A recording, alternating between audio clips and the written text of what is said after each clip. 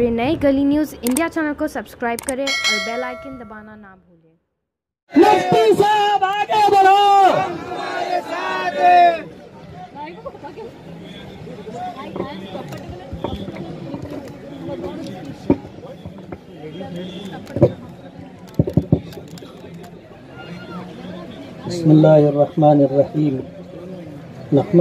बसमीम रसूल करीम। अम्माबाद किसी शायर ने कहा है कि तुमने चाहा ही नहीं हालात बदल सकते थे। तुमने चाहा ही नहीं हालात बदल सकते थे। मेरे आँसू तेरी आँखों से निकल सकते थे। दो कदम साथ मेरे चल के तो देखा होता। खुद ब खुद तेरे ख्यालात बदल सकते थे। और तुम तो ठहरे ही रहे झील के पानी की तरह। दरिया होते तो बहुत दूर निकल सकते थे।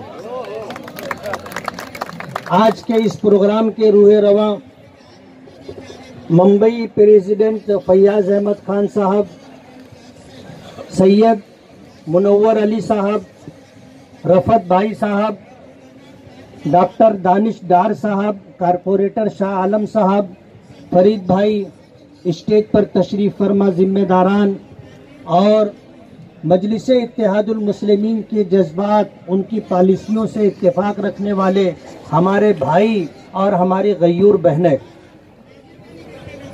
रिजर्वेशन हमारा हक है।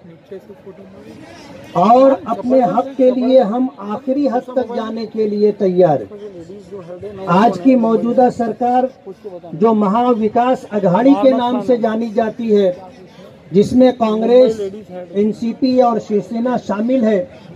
मैं आपको ये बताना चाहता हूँ कि मुसलमानों की जो बदतरीन हालत है, इसे डॉक्टर महमूद रहमान कमेटी की रिपोर्ट ने, जिसने महाराष्ट्र का सर्वे किया था, और सच्चर कमीशन की रिपोर्ट ने, जिसने हिंदुस्तान का सर्वे किया था, इस बात को वाजे किया है कि हिंदुस्तान और महाराष्ट्र में मुसलमानों की हालत दलितों से ज़्यादा पसमानदा है।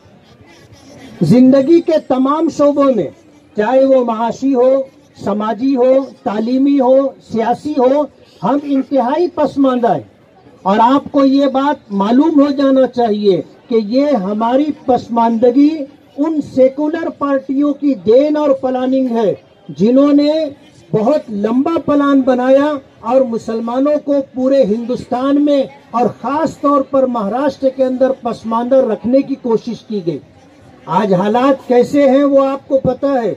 मैं हालात पर कुछ नहीं कहना चाहता। आप मुझसे बेहतर जानते हैं और हमारे कुछ साथियों ने कुछ हमें आईना भी दिखाया कि हमारी शक्ल सूरत क्या है और हमारी हालत क्या है।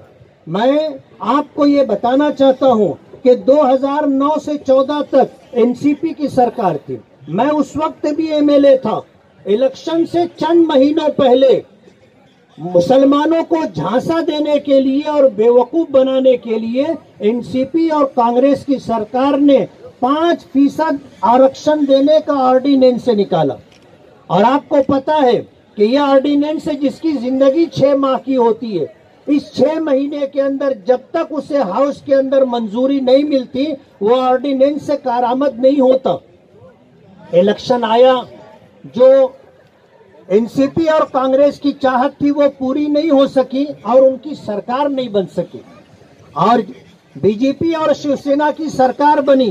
बीजेपी और शिवसेना की सरकार बनने के बाद पाँच साल तक यही कांग्रेस, एनसीपी के लोग हम मुसलमानों के लिए रिजर्वेशन मांगने के लिए आवाज़ बुलंद करते रहे। ये भी वो सूरत हाल थी जो हम मुसलमानों को बेवकूफ़ बनाने के लिए थी। आज अगर वो रिजर्वेशन देने में मुखलिस होते, सच्चे होते, हमारे हमदर्द और खैरखा होते तो आज जब सरकार उनके पास है, वो सत्ता में है, और आज रिजर्वेशन वो हमें देना चाहे तो दे सकते हैं, आज रिजर्वेशन की बात भी नहीं करते।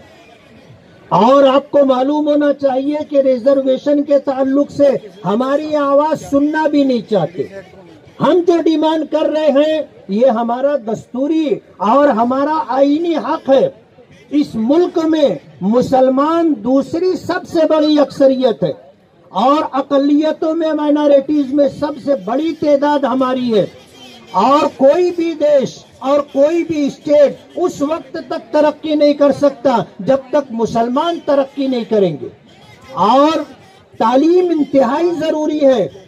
आज हाई कोर्ट में नहीं हाई कोर्ट ने भी पाँच फ़ीसद एजुकेशन लाइन से रिजर्वेशन देने की तारीफ़ की है। मैं ये कहना चाहता हूँ कि हाई कोर्ट के इस जजमेंट और फैसले के बाद सरकार को रिजर्वेशन देने में कोई रुकावट नहीं है। लेकिन अभी आपने दो रोज पहले हाउस के अंदर जो बात हुई थी मुस्लिम रिजर्वेशन को लेकर के उस वक्त मिनिस्टर साहब ने जो जवाब दिया है, वो ये कि उन्होंने गेंद मरकजी सरकार के पाले में डाली है कि 50 फ़ीसद से ज़्यादा रिजर्वेशन देते नहीं आता। जबकि महाराष्ट्र में बावन परसेंट रिजर्वेशन चल रहा है। महाराष्ट्र सरकार महाविकास अघाड़ी हमें रिजर्वेशन देने, देना नहीं चाहती, इसलिए वो ये कहती है कि महाराष्ट्र, स्टेट सरकार दिल्ली सरकार, यानी केंद्र सरकार जो है 50 फ़ीसद से आरक्षण की हद बढ़ाए, तब जाकर के हम रिजर्वेशन दे सकेंगे। ज़ाहिर बात है, मैं ये पूछना चाहता हूँ कि अगर बात यही थी तो फिर आपने 2014 में आर्डिनेंस से क्यों निकाला था? जब भी तो यही सूरत हाल थी, और जब पिछला पाँच साल बीजेपी और शिवसेना की सरकार थी, जब भी यही सूरत हाल थी, और तुम मुसलमानों के लिए रिजर्वेशन मांगने के लिए आवाज़ उठा रहे थे। आज जब तुम्हारी सरकार है और तुम रिजर्वेशन दे सकते हो तो आज रिजर्वेशन न देने के लिए हीले और बहाने इख्तियार किए जा रहे मैं एम आई एम के एक वर्कर की हैसियत से आपको ये बताना चाहता हूँ कि हम लोगों को अपने हक के लिए लड़ना होगा।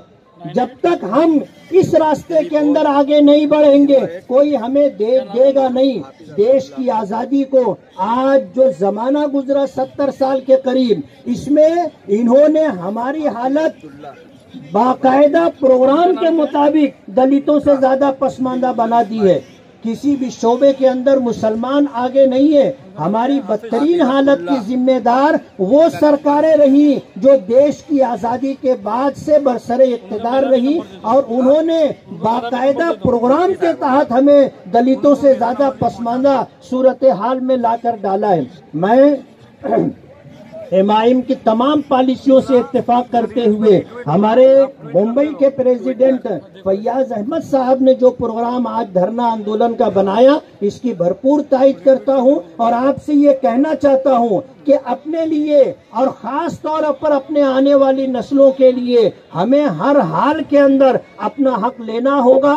अगर हमारा हक दस्तूरी एतबार से मिलता है तो ठीक है, और अगर दस्तूरी एतबार से नहीं मिलता है, हमें ये हक छीन करके लेना होगा। अपनी नस्लों को अंधेरों से निकालने के लिए और अपनी नस्लों को गुर्बत से निकालने के लिए पाँच फ़ीसद एजुकेशन लाइन से हाईकोर्ट के फैसले के मुताबिक हमें रिजर्वेशन मिलना चाहिए। मैं इस प्रोग्राम के इनका पर फैयाज अहमद खान साहब, उनकी पूरी टीम को दिल की गहराइयों से मुबारकबाद देता हूँ और ये उम्मीद करता हूँ कि आइंदा भी इस लाइन से जब कभी हमें आवाज़ दी जाएगी, आप उस आवाज़ पर लब्बैक कहते हुए उन प्रोग्रामों में शिरकत करेंगे। बहुत बहुत शुक्रिया।